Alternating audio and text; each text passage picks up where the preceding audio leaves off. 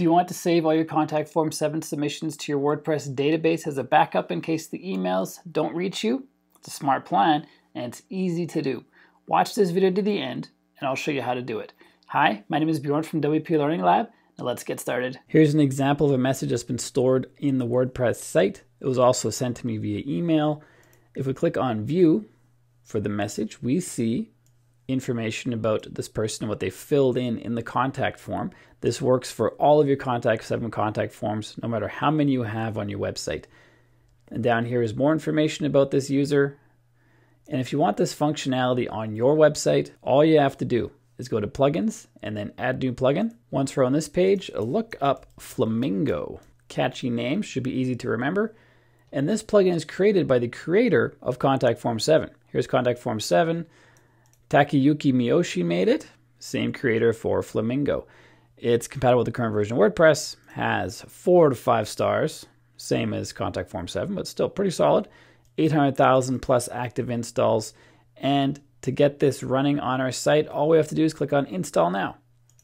I'm installing this on a test site. If you want to be safe, you might want to back up your site first before you install any plugins. If you need help with that, I've got a tutorial in the description down below that will hook you up with how to back up your site and restore it if something goes wrong. Activate it once it's installed, and now all we have to do is head out to our site, fill in our contact form, send it by clicking submit, head back into our dashboard. Under, or sorry, over the contact form 7 link, we now have a Flamingo link. And Flamingo has two sections. One is the address book, one is inbound messages. The address book is a list of all the people who've submitted messages. So it's just basically the contact information. So we have Bjorn at WP Learning Lab, Bjorn, and what that user's done, i.e., the pages they visited. If we click on edit, it just has this information. Nothing special going on. Under tags, we can apply a tag, and then that will show up in the tag list here, we can click on the tag list and shows all the people who have that same tag. So you can organize your address book in that fashion. Under inbound messages is the point of this video. This is the actual message that was sent in. If we click on view, we see the message data right here, but we also see a lot of metadata down below. All that information might be useful for you or it might not, but at least it's there. And you also receive this message in your email inbox. And here's that message in our inbox right here. I view using this kind of tool like Flamingo more as a backup and a, a matter of convenience because you can see all these things in your WordPress dashboard if you're working in there at the time. But it's more of a backup for when emails don't get through, which happens, or if they go to spam or if they're deleted accidentally, you have a backup list of emails on your site, which you can see right here.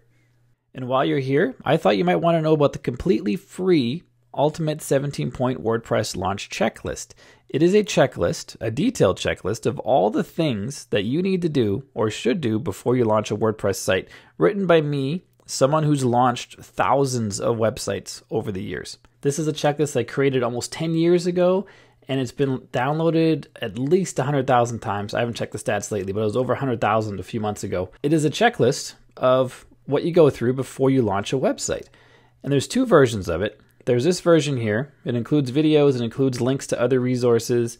So it really takes you through the steps you need to take to launch your website in a nice format, like you see here. And we also have a print friendly version over here. So you can print it off, and this is a smart PDF. That means it will adjust to the size of your screen. For example, if you're on iPhone 12 Pro, see how it all adjusts to fit the smaller screen? It messes up the WordPress and the title up here. But everything else, it goes down to the smaller screen. What if you have a Galaxy Fold? It'll look like this. Or at least pretty close to what this is. Unlike other PDFs that don't shrink, that are a real pain to look at when they're shrunk down. And the, the uh, print friendly version works the same way if you want just black and white. And they're also downloadable Click on the little download button and you download the PDF to your computer. The benefit of the Smart PDF as well is when I update it, you will get the updates instantly. So you can get this just by opting in with your name and email address on the page that I've linked to in the description down below. You get this totally for free. And when you download it, you'll have the current version of it. But then if I update it in the future, this smart PDF at this URL will be updated with the new content that you can come back and download it again. So I recommend when you opt in that you bookmark this page so you can save it for future reference. And every few months, I don't update it every week, but every few months or so, come in here, check if there's some changes, download the new version, and you're good to go. So if you want to join over 100,000 fellow WordPress users and get this PDF checklist for yourself, do so now. There's a link down in the description. All you have to do is enter your name and email, and I will send you emails. Most of those emails are just about videos I've published on my various channels. Sometimes I send you offers for stuff you might be interested in.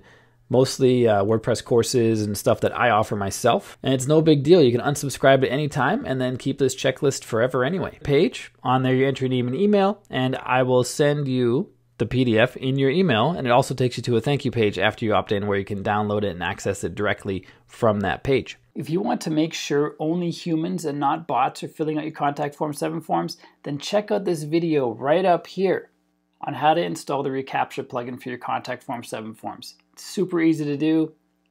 This video right here will show you how. Right up here. Right in this general location here. Go ahead, click it. I'll wait. I'm pretty patient. Right up there.